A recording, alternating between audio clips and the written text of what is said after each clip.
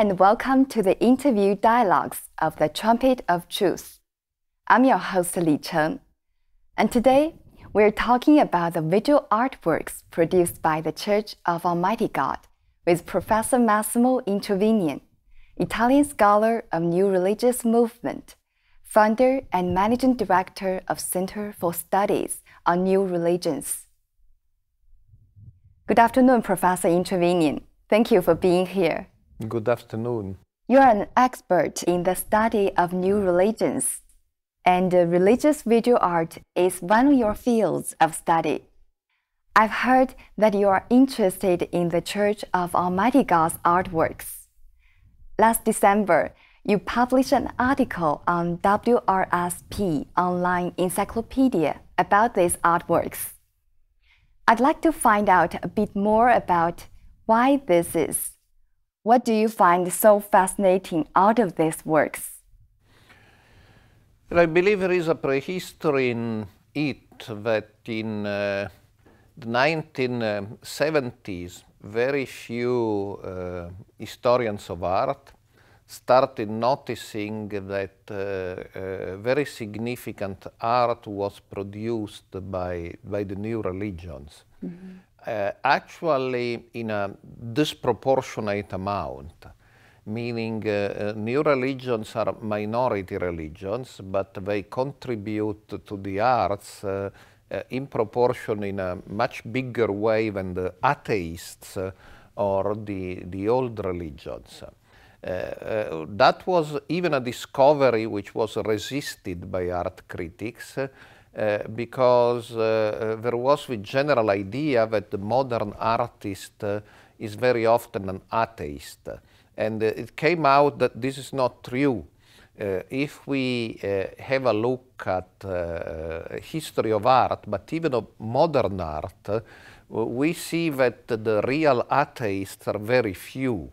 Uh, it is true that many uh, art uh, bodies, artworks, are no longer perhaps produced in the traditional churches and religions, but the new religions um, started in the 20th century or the 19th century really contributed very significantly uh, to the world of art through their uh, production. So Mm, uh, what happened to the Church of Almighty God? Because this model will predict that being such a large, uh, fast growing church, the Church of Almighty God will produce its own art. Uh, that didn't happen uh, for many years uh, for a very simple reason because of the persecution. Uh, because of the uh, persecution in China, you cannot have buildings, uh, and you had other things to do, trying to survive the, the, the, cruel persecution of the CCP. Uh, didn't leave much time and leisure to, to produce art.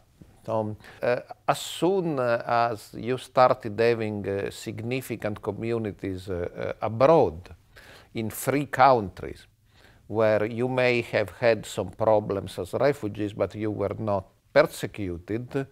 Uh, the model worked in the sense that uh, uh, being a growing and large uh, new religion, the Church of Almighty God started producing uh, works of art. So that's perhaps uh, is an unintended consequence of the persecution of the CCP that generates a diaspora abroad, and in the diaspora abroad, the art started flourishing. Of course, a second uh, unintended consequence has nothing to do with art is uh, non-Chinese started returning to the Almighty God as well, and that's also uh, because of this significant uh, uh, presence of diaspora communities. Perhaps I would say that your artistic production really started 2013, 2014.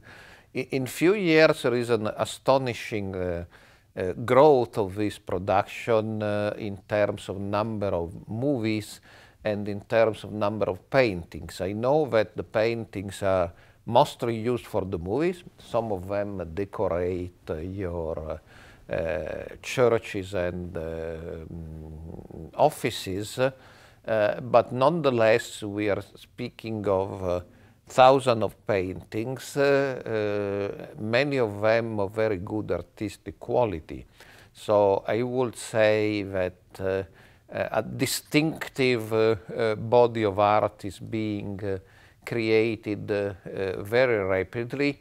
And has also been acknowledged uh, in the sense that some of your movies won uh, awards in Christian film festivals, which is very significant because they recognized the, the good quality uh, of your movies and gave uh, these awards. And um, normally it is an important step in the uh, maturity and globalization and mainstreaming of uh, uh, many religions, uh, when they start having their own distinctive body of works of art.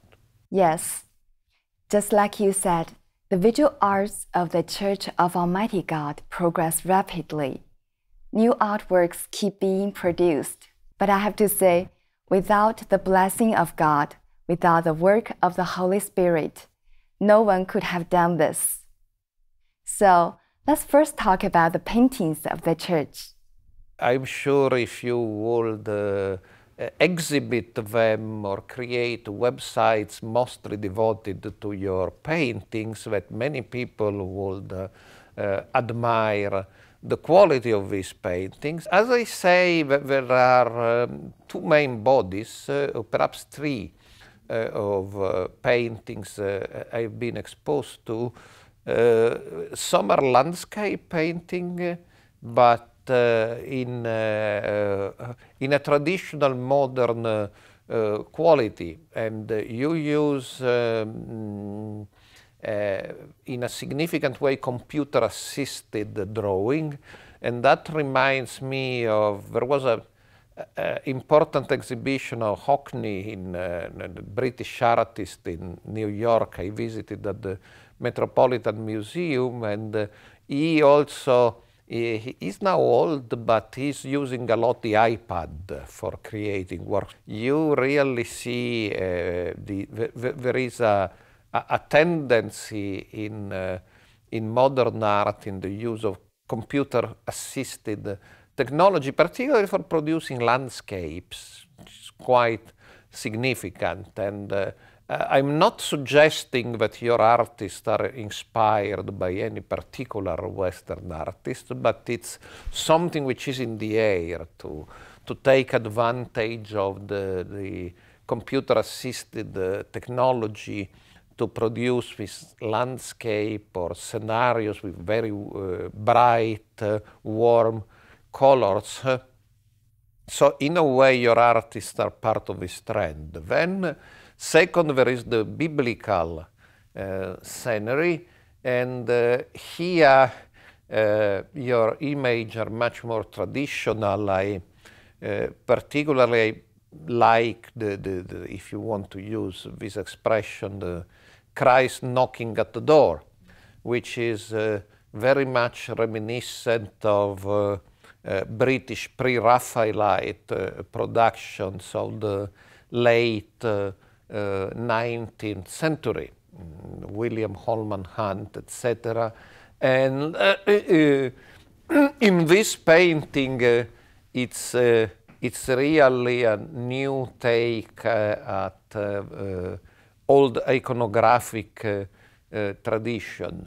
In some other paintings, of course, we see the distinctive theology of the Church of Almighty God, and uh, we see very clearly a distinct relationship between the creation of the artist and the word of Almighty God. Uh, uh, one uh, painting, uh, uh, for instance, shows Adam and Eve clothed. They discover they are naked and they receive clothes, clothes made by God's own hands. and this particular in theology of Church of Almighty God is very important uh, because uh, it shows that God uh, takes care of human beings even uh, if uh, uh, God can um, chastise human beings in some occasions, but takes care of human beings and even uh, God's care of humans is so delicate uh, that he makes the clothing uh, with his own hands. another similar image is Noah, Noah's ark after the flood. And here I believe for interpreting these paintings, uh, some knowledge uh, of the theology of the Church of Almighty God uh, is needed because the, the, real center of the painting is not Noah. Uh, it's not the animals, as colorful as they may be, but what is in the center of the painting is the, the rainbow. Uh, many art critics uh, uh, who studied Christian paintings in general, I'm reminded of uh, the Christian art critic from Austria, uh, Hans Sedlmayr, they say in the Christian paintings there is always a center. Sometime in the modern post-Christian there is no center, but in the Christian paintings look for the center. And in this painting of Noah after the flood, the center is the rainbow. And uh, the rainbow was sent by God to, to uh, announce that the, the world will not be destroyed, uh, which is an important part of theology of Church of Almighty God, uh, and it's different from what uh, other churches believe. The Church of Almighty God doesn't believe that this world will be destroyed. Yes, there will be catastrophes, but uh, this world will be transformed, not destroyed. And uh, so uh, the rainbow in a way is a symbol which is still true today. So an understanding of the theology of the Church of Almighty God uh, will really help us to understand the painting uh, and to understand where in this Noah after the flood uh, uh painting where the, the, the, center is. Because as I say, art historians uh, have really characterized the Christian art as having a center. And sometimes the modern art refuse to have a center, which is also a choice. It's, uh, uh, they try to produce something completely different. But in Christian art, normally paintings call your attention to a center which may not be the physical center, may be a, a theological center. And in this painting of Noah, the center is really uh, the rainbow. Like uh, in the painting of Adam and Eve, uh, the clothing is the important part because it's through the clothing that God manifests his uh, uh, delicate love for uh, humanity. Yes, indeed. The majority of the paintings are produced based on the Bible and Almighty God's words, just like the image, the Rainbow Covenant. It reminds me of God's words. In this covenant, we see God's heart. We see that God's heart was in pain when He destroyed this humanity. From that point, God placed all of His expectations of humanity on Noah's family, hoping they could live under His blessings and not His curse, hoping that they would never see God destroy the world with a flood again, and also hoping that they would not be destroyed. From the Rainbow Covenant, we can see the Creator's love for mankind. Well, uh, the punishment uh, of God and the sadness of God uh, is something the audience uh, should infer from the symbols because you respect uh, honor tradition in um, Jewish art and uh, also in most Protestant art. Catholics are sometimes a little bit different, particularly in the Renaissance with Michelangelo. But uh, uh, Jews and Protestants, Christians, uh, normally they do not represent uh, the God of the Old Testament. You never see the face of, of course, you see the face of Jesus, but that's in the New Testament, uh, what you call uh, the age of law, uh, uh, the age of grace, uh, as opposite to the age of law. But in what you call the age of law, most Protestant artists will never represent God. And Jews, of course, will never represent uh, God. And I believe you respect this tradition. You still maintain this tradition of not representing the God uh, of the Old Testament or Jehovah. You represent, of course, Christ. And uh, so, if you want to understand the God uh, uh, in the age of law, uh, we have to look for the symbols. So uh, there are uh, symbols that uh, the flood happened. there are symbols that Adam and Eve have been kicked out of the Garden of Eden, but we don't see God doing this. So we should be able to read the symbols in your painting uh, and to understand the reasons for God's punishments uh, and uh, the sadness of God in administering these punishments from uh, a reading of the symbol. Professor, as we've already mentioned, the paintings created by the Church of Almighty God are primarily used in its movies, videos, and musicals, which have been uploaded to the internet. They are used to proclaim and testify God's work of the last days and have attracted the interest of more and more people around the world who wish to find out more about Almighty God's work. Uh, while uh, your movies are enjoyed also by many who are not members of the Church of Almighty God because uh, uh they've been presented in international festivals. Uh, and I also believe that the number of downloads of uh, these movies on the internet indicate that they are seen by uh, many who are not members of the Church of Almighty God. So, much more than the paintings, uh, uh, the movies uh, communicate to an external uh, audience. And uh, I believe there are two things to say about this. First, it's clearly uh, these movies are from the Church of Almighty God. I mean, if you know the Church of Almighty God, you can understand that uh, the message uh, being conveyed is the message of Almighty God. But second, uh, the movies, and that also contributes to their artistic quality. Uh, very often speak of universal uh, values, uh, the, the goodness, the kindness, the love, the, the family, uh, the, the, relationship between the children and the parents, the relation between uh, serious life uh, and the modern life, which sometimes is mostly about having fun and losing your time.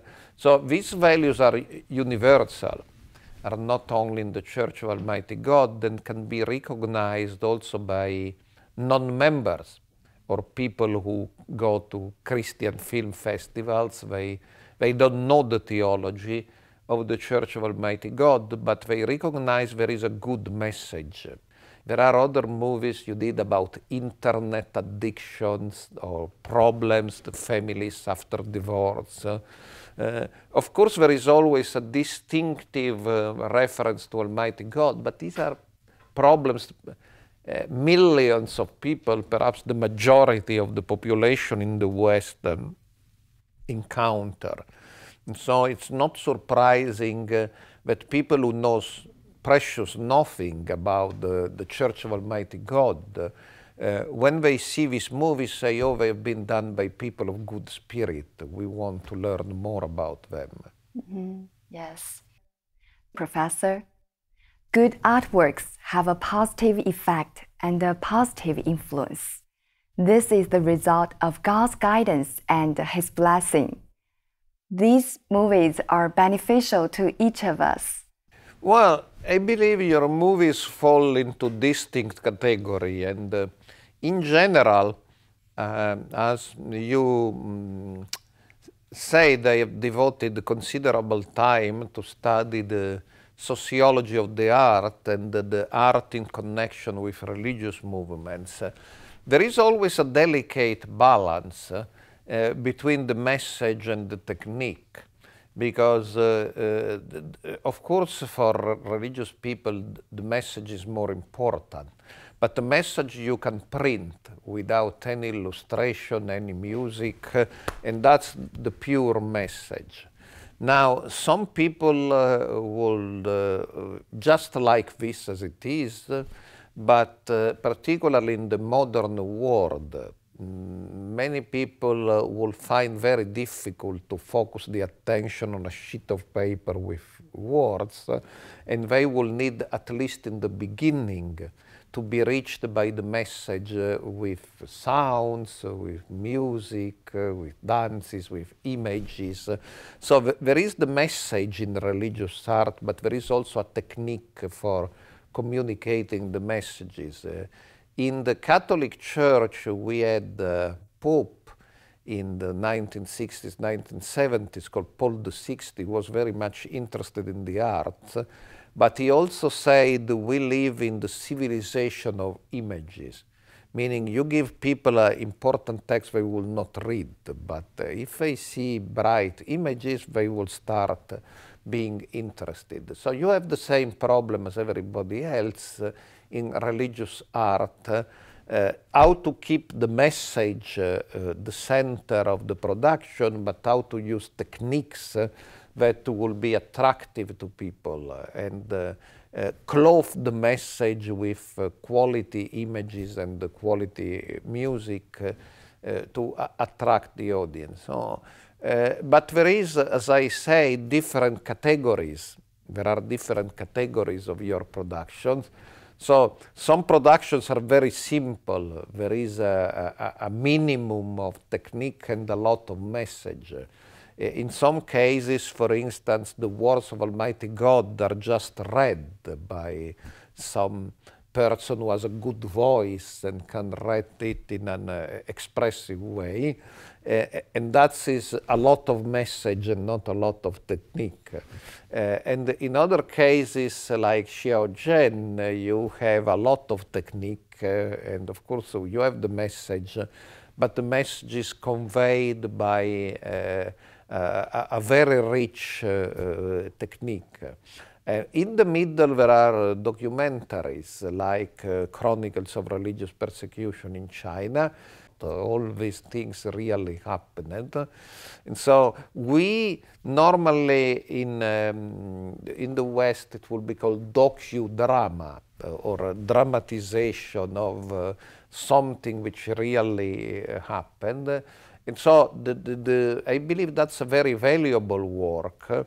But the value of a docudrama is also in its capacity of telling uh, the truth, in telling a true story and that's precisely what happened. So I also believe Chronicles of Religious Persecution in China did deserve the awards it uh, won uh, because uh, it's, uh, it's technically very well realized. I mean, the, the, the, audience is really involved in what is happening, but also it maintains the, the main rule of the docudrama, which is to, to tell stories that can be verified and are actually true, really happened uh, outside of the screen. Yes. Mm, Professor Introvigne, I've heard you are a big fan of musicals. Of our musicals that you've seen, which impressed you the most? Would you like to share with us? Take uh, the, the, the Xiaozhen uh, music. Xiaozhen story. Xiaozhen uh, uh, story musical, uh, it's not surprising. It has been very successful uh, also among people who do not belong to the Church of Almighty God because it's a very high technical quality and uh, the persons who participate, they may be professional or amateur, but uh, the quality is very high. And also, uh, of course, there are references to the Almighty God, uh, but uh, the general plot, the general outline of the story, uh, it resounds to, to universal values that many people can share and also to problems uh, young people encounter today, which I believe everybody can understand. And, and uh, New Heaven and New Earth is really about the future of humanity and uh, this eternal struggle between God and Satan. But uh, in the end, we are offered a glimpse of uh, uh, what will happen next uh, with the coming in the flesh of God as Almighty God and the possibility for some to be purified and uh, to enter in a future everlasting kingdom. Uh, in the meantime, uh, there will be the catastrophes prophesied precisely in the book of Revelation. So, mm, this is, uh, of course, a modern way of taking on a very old theme because the, what is discussed in New Heaven and New Earth, uh, in a way, is the essence of Christianity. Uh, it's uh, what the meaning of this word, why in this word uh, something goes wrong. Can we enter in a different uh, world uh, where the, the, the, works of Satan uh, will be defeated. So these are eternal themes, in particularly in Christianity, but uh, I, I'm not aware of any other discussion of these themes in the form of a musical. So we have a very modern way of uh, interpreting these traditional themes. Uh, and I believe the musical is ultimately uh, successful uh, in uh, conveying this sense of urgency uh, and this sense that in a way we are living in the last days, even if uh, we should always be careful when we say last days in reference to the Church of Almighty God, because uh, many people, including scholars, when they hear last days, they immediately compare with religions uh, uh, that predict that this world will be destroyed, while you do not predict that the world will be destroyed, it will be changed. Yes, that's true. Mm, you know, in the Church of Almighty God, God has prepared talent from all kinds of industries. Most of them didn't graduate from specialist institutions. They're just doing what they love. When they first started producing these works, they had no path. But after praying to God and relying on God, they were enlightened by the Holy Spirit and were able to produce a lot of great works in a short period of time. When they produced these artworks, they experienced God's work and saw the deeds of God. Without the Holy Spirit's work and His blessing, no one of them could have done this because they don't rely on their abilities, but on God. Well, for believers, inspiration comes from God, uh, but even non-believers will say that artists are uh, sometimes when they create, they become different, uh, and uh, Americans like to say that uh, in arts there is a percentage of inspiration and a percentage of perspiration. Perspiration means sweating, and meaning you should sweat a lot in training. Uh, dancing uh, in your musical is a good example because I'm sure there is inspiration. It shows these people uh, believe in God and do it for God, but I'm sure there is also perspiration, as the Americans would say, because they do the scene many times and they train and they repeat. So there is a lot of sweat and efforts going, going in, uh, in this. So um, surely uh, the, the amateurs can produce something very good, but uh, when I look at productions like Xiaozhen, it's uh, uh, perhaps some of them are more than amateurs because uh, either they were trained before or were trained after leaving China, but uh, the quality is very much uh, professional quality, and that's also true in most of your music. The music uh, appears to be very professional. Professor, you just mentioned that artworks of the church convey to the audience the words and the way of Almighty God. According to one of your articles, you said, Beauty is first an inherent feature of the words of Almighty God, described as uniformly beautiful and moving. The presence of Almighty God on earth is not only momentous and decisive, it also creates unprecedented beauty. One of the distinctive characters of the new kingdom of God is beauty. Professor, I totally agree with you on this point. Would you like to talk a bit more about it? Yes, from very early in the words of Almighty God, uh, we find words about the beauty. I believe uh, we can read the, the, the word appears in the flesh uh, as also the announcement of a new beauty. I mean, surely uh, Almighty God announces the truth, but uh, at the same time, uh, uh, truth, uh, when it enters the world, carries with it the beauty. That's a very old Christian theme, that, by the way, that the beautiful, the good, and the true uh, is, is, a very old theme in Christianity.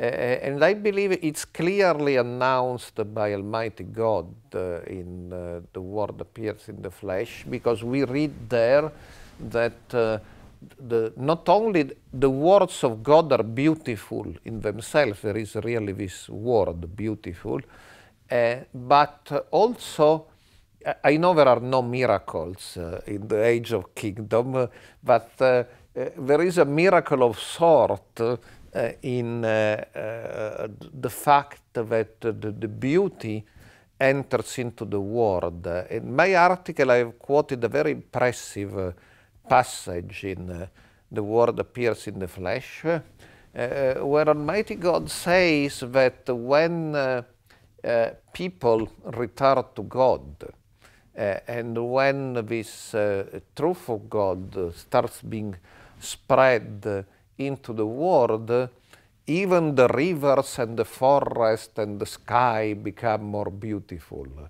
This seems to me uh, a very deep message and perhaps something which needs to be studied uh, by the few people outside the Church of Almighty God uh, who study the Word appears in the flesh, because the the theme of the beauty is perhaps a little bit neglected, uh, but uh, it's also important in the book. Professor Introvigne, thank you for sharing your thoughts with us. We really appreciate your time. Thank you. Thank you so much for watching. We'll see you next time.